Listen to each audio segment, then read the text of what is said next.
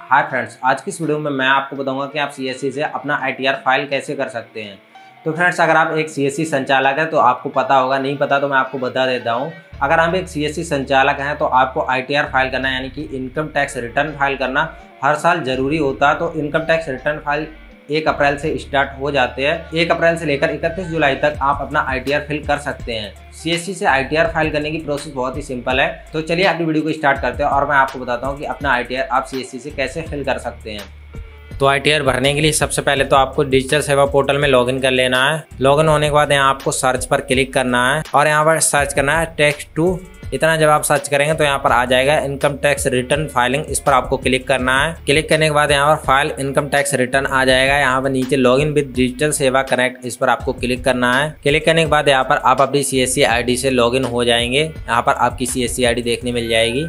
यहाँ पर आपको बी e का पूरा नाम भरना है। उसके बाद बी e की ईमेल आईडी यहाँ पर डालनी है आपको और उसके बाद बी मोबाइल नंबर यहाँ पर आपको दर्ज कर देना है। उसके बाद यहाँ पर आपको पैन कार्ड नंबर डालना है बीएलई का। उसके बाद जैसे ही आप टैप पर प्रेस करेंगे तो अगर आप ऑलरेडी आई भर चुके हैं एक से दो बार तो मैं पहले भी यहाँ पर आई एक से दो बार भर चुका हूँ। तो यहाँ पर ऑलरेडी मेरी सारी डिटेल्स यहाँ पर आ जाएगी। अगर यहाँ पर आपकी नहीं आती तो यहाँ पर आपको डेट ऑफ़ बर्थ और फादर नेम और नाम यहाँ पर डालना होगा। टाइप यूज़र में यहाँ पर आपको बी एल सिलेक्ट करना है, क्योंकि आप खुद का भर रहे हैं। दूसरे का भर रहे होते तो यहाँ पर यूज़र या सिटीजन को सिलेक्ट करते। उसके बाद यहाँ पर income tax password if available तो यहाँ पर अगर आपके पास इनकम टैक्स का पासवर्ड होता है तो यहाँ पर आप दे सकते हैं, नहीं होता तो इसे आप छोड़ सकते हैं। तो मेरा इनकम टैक्स का पासवर्ड ऑलरेडी बना हुआ तो वो पासवर्ड मैं यहाँ पर दर्ज कर दूँगा। देन उसके बाद यहाँ पर मेरा मोबाइल नंबर आ जाएगा ईमेल आईडी आ जाएगी पिन कोड आ जाएगा।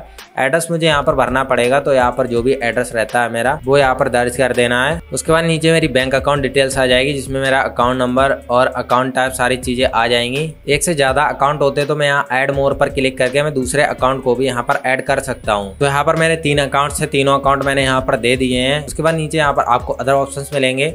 तो यहाँ पर सैलरी इनकम पूछा जाएगा capital gain transaction business income या फिर हाउस प्रॉपर्टी इनकम तो यहाँ पर हमारा बिज़नेस इनकम है, यानी कि हम सीएससी से काम कर रहे हैं सेल्फ एम्प्लॉयड हैं तो यहाँ पर ई e पर हमें क्लिक करना है।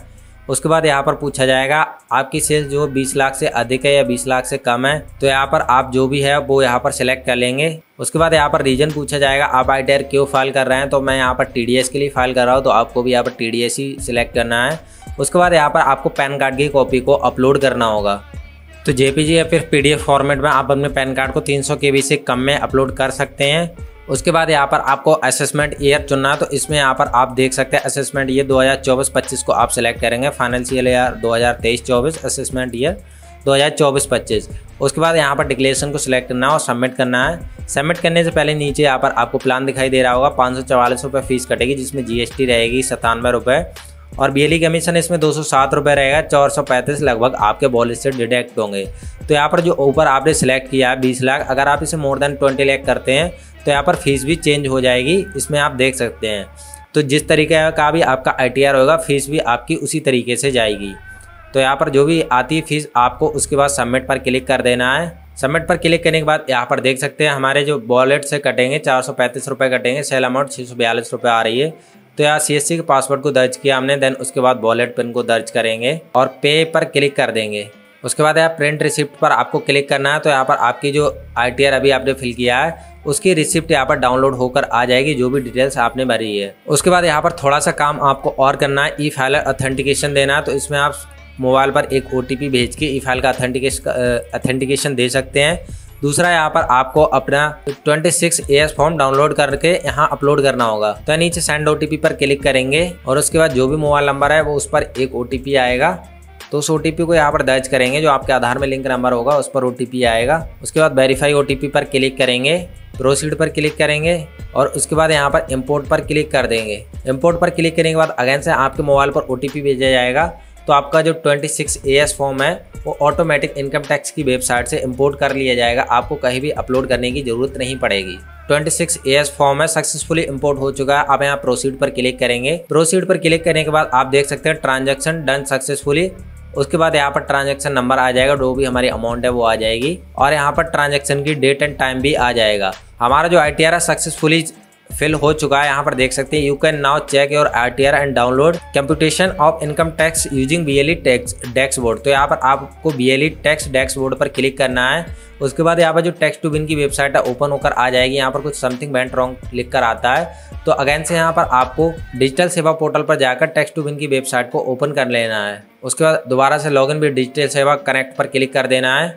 अब यहाँ पर सी एस सी आपको लॉगिन कर लेना है। लॉगिन करने के बाद यहाँ पर आप देखेंगे डैशबोर्ड डैशबोर्ड पर आप जैसे ही क्लिक करेंगे, वैसे यहाँ पर आपको ऑल आई टी आर पर क्लिक करना है। तो देख सकते हैं, अब तक आपने जितने भी आई टी आर फिल किए वो यहाँ पर आ जाएँगे। तो इस साल का जो अभी हमने फिल किया है, तेईस चौबीस का, उसका T D S not updated status आ रहा है। जब यहाँ पर आपका आई सक्सेसफुली फिल हो जाएगा तो यहाँ पर इन वेरीफाइड लिख कर आ जाएगा या फिर फिलिंग डन लिख कर इस तरीके से आ जाएगा। जब जनरेट लिख कर आ जाएगा तो यहाँ पर आपको डाउनलोड पर क्लिक करना है कंपटीशन इस पर क्लिक करेंगे क्लिक करने के बाद जो आपका टोटली आईटीआर है, वो यहाँ पर कुछ इस तरीके का निकल कर आ जाएगा। तो फ्रेंड्स ये थी पूरी प्रोसेस आप इस तरीके से सीएससी से अपना आईटीआर फिल कर सकते हैं। आपको यहाँ पर कुछ बेसिक जानकारी देनी होगी देन उसके बाद जो टेक्स्ट टू विन की टीम है, वो आपसे कांटेक्ट करेगी। देन आपसे जो भी क्वेश्चंस पूछे जाते हैं, उनका आपको जवाब देना है। और उसके बाद वो आपके आईटीआर को प्रोसेस कर देंगे। सात से आठ दिन में आपका आईटीआर अप्रूवल होकर आपको उसकी कॉपी मिल जाएगी, जिसे आप ऑनलाइन टैक्स टू बिन की साइट से भी डाउनलोड कर सकते हैं या फिर डायरेक्टली आप इनकम टैक्स की वेबसाइट से भी डाउनलोड कर सकते हैं। इस वीडियो में फ़िलहाल इतना ही। आई होप आपको वीडियो में बताई जानकारी काफ़ी अच्छे समझ में आ गई होगी। कुछ भी क्वेश्चन रह जाता हो तो नीचे कमेंट कर सकते हैं। तो जैसे सी में हर साल आईटीआर फिल करना कंपलसरी रहता है। वैसे ही सी में आपको हर साल अपना करेक्टर सर्टिफिकेट भी अपलोड करना मैंडेटरी रहता है। तो सी में करेक्टर सर्टिफिकेट अपलोड कैसे करना, उसकी पूरी प्रोसेस मैंने इस वीडियो में बता दी है। तो इस वीडियो को चेकआउट करना ना भूलें।